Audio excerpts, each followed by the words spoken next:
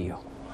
Thanks a lot. We got a special guest here, Ann Rushing, and I'm not going to tell you who she's with yet. I'm going to ask you this question first. Did you know that every six minutes an underground utility is damaged because someone decided to dig without calling 811? And Ann is with the North Carolina 811. And Ann, tell us what is 811? Well, 811 is the notification center. Anytime you're excavating, you're required by law to call before you dig. It's a simple phone call.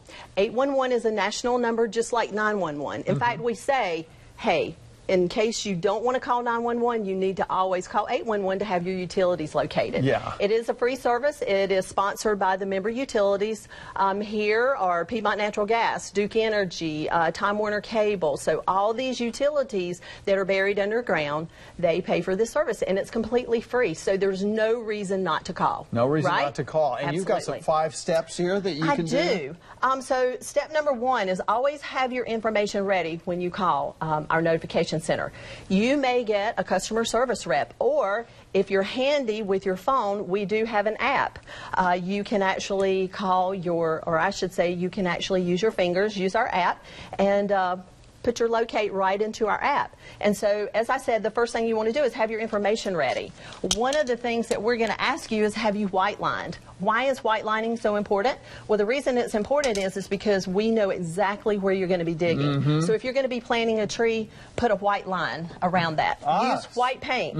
Uh, do not use paint that's blue because those colors represent those utilities that are underground. And as you see here, we do have these utility colors. Can I get one of these cards? Absolutely, that one's for How for would you. I get them?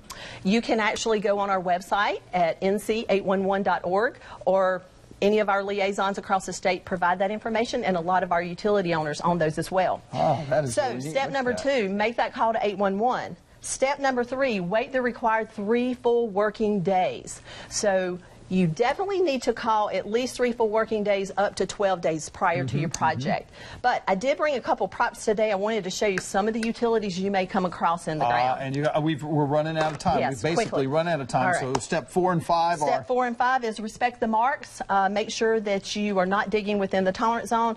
And number five, please, please dig with care. But most of all, call 811. It's a free service. All right, Ann All right. Rushing. So great Thank you. advice. I didn't know this. Everybody needs one of these little cards. Get Absolutely. one. All right, thanks, All right, Ann. thank All right, we'll be back in just a moment. But first, here's a look at what's on WBTV and CBS tonight.